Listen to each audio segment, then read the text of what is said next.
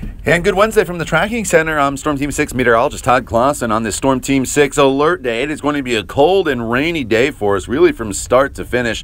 The steadiest of the rain will be in the afternoon into the early evening hours before the rain starts to taper off, but it is going to be chilly with a high of only 45. It'll feel even cooler than that, though, when you factor in the rain that'll be falling. Give yourself some extra time on the roadways. Here's TrueCast.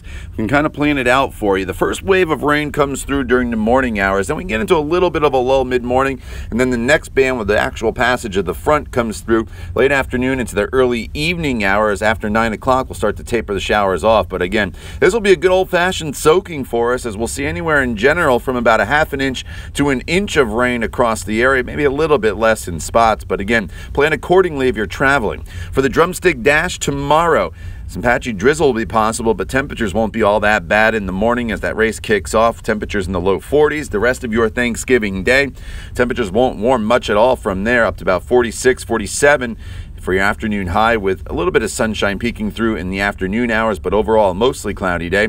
Quiet on Friday, beautiful weekend with sunshine and temperatures near 50 degrees before another storm system arrives Sunday night and into Monday, but with temperatures in the 50s. That one will be, bring wind and rain and no wintry precipitation.